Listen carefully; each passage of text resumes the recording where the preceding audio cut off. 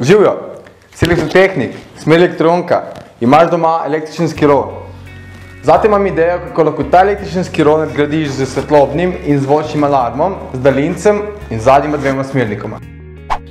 Potrebuješ miškota, no, oziroma tri miškote, vsak za svoj modul, za daljinc, za glavni modul in za LED modul na blatniku. Potrebuješ dva RF modula za RF komunikacijo, dva CAN modula za CAN komunikacijo, čip za merjenje pospeška, piskač ali sireno, potrebuješ dve ledici, dve tipki, dva MOSFETA, nekaj metrov kabla, narediti moraš ohišje, veliko moraš programirati, veliko moraš spajkati in to je to.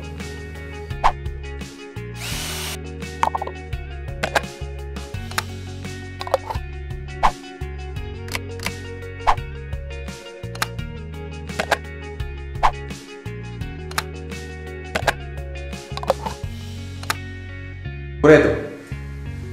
Sistem smo sestavili, sedaj pa še prikaz, kako deluje. Prvi smernik,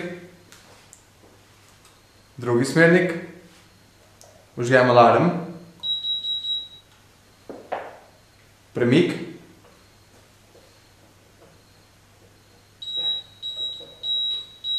in alarm izklopim. To je to.